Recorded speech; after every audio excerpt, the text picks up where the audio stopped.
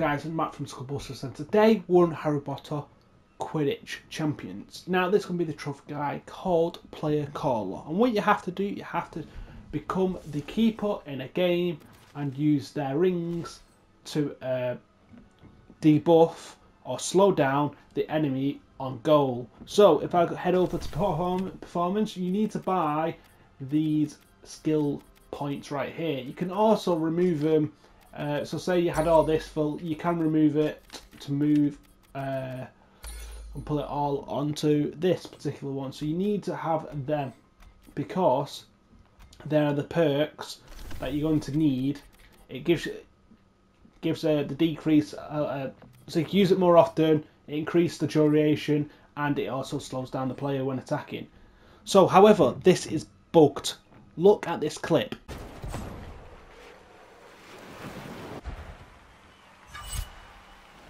Gryffindor takes the shot. Come on, surely that's it. Surely that's the trophy.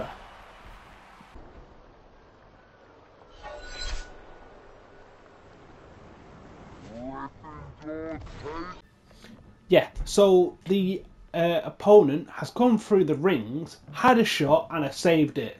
That is the actual what the trophy describes and what the trophy actually is. This is on the X, the bishop, the X.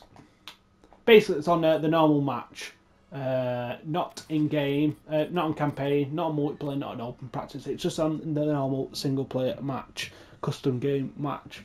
Um, so, like I said, I think this trophy is bugged. It's not unlocking for me. Uh, I've been trying for ages now, and it's just not working. So there we go. Uh, just to let you all know, it's bugged, and that's pretty much it. So thank you for tuning in. Stay tuned for more, and I'll see you all soon. Adios.